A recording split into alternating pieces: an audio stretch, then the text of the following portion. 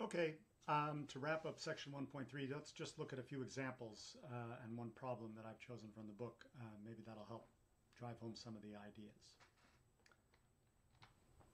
So um, I'm looking in the book at example 1.6, which is a long list of things to, to think about. And a lot of it is about the difference between this sign, which means is an element of, and this sign, which means a subset of. Something to keep close track of because this symbol expects to see an element on the left and a set on the right.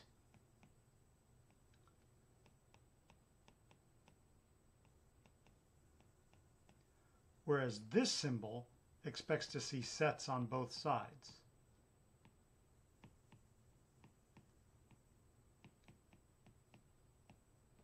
So this statement says that the, the number 1 is an element of the set con containing 1, 2, and 3, whereas this one says that this, well, the set 1 is a subset, the set containing just 1 is a subset of the set containing 1, 2, and 3, which means that the element 1 is an element of one, two, three. So the information content of these two statements is pretty much the same, but um, you have to be careful about the proper semantics. So let's look at a couple of examples which drives this home. So the first statement says that 1 is not a subset of the set containing 1 and the set containing 1. So this, some of this is sort of silly, but this is the idea. So this is true. These are all true. So this is true. And the, the point here is that um, 1 is not a set. So it can't be a subset.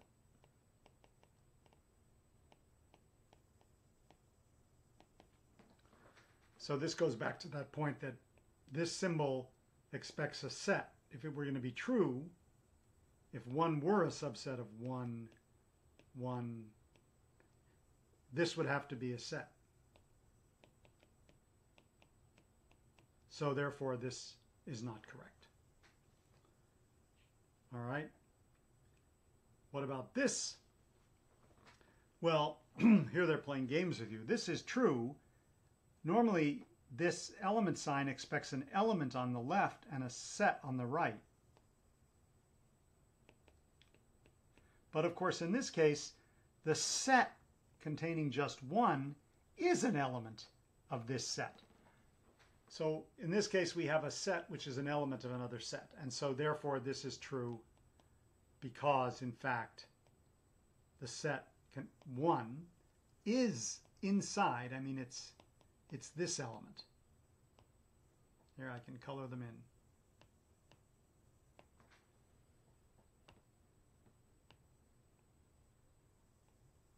There you go. And then finally in the in this twisty business, so here they're saying that the set 1 is a subset of the set containing 1 and 1. So here, why is this true?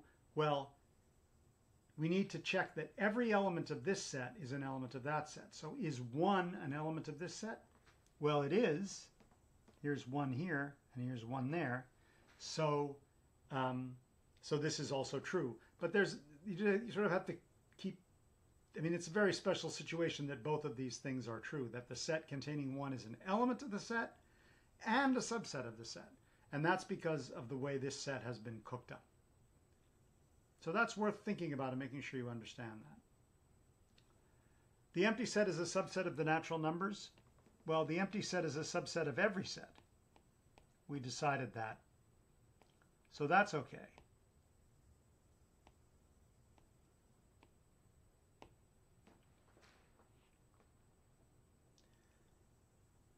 The natural numbers are not a subset of the set containing the natural numbers.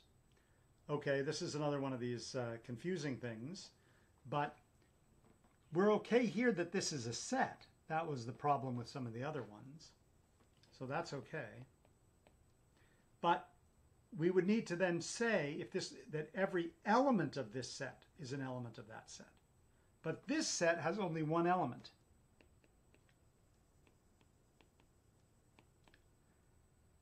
And that one element is the set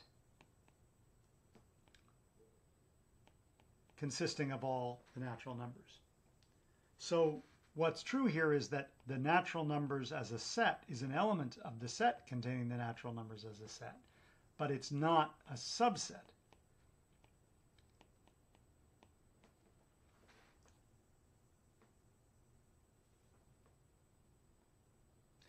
And just as a final, uh, this is one of the problems from the chapter. I just wanted to look at this because it's uh, it's a good thing to think about.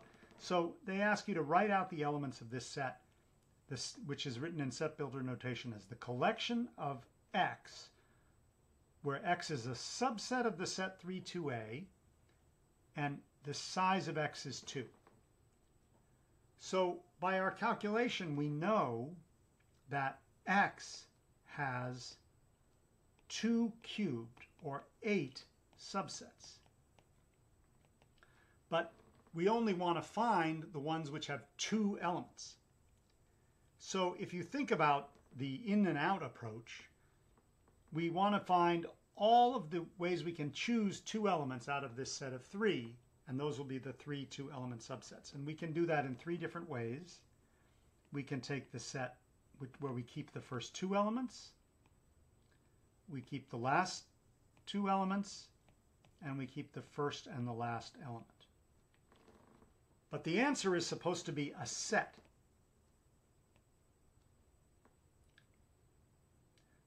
So um, this set here, let's give it a name. We should call it maybe B. Here is B.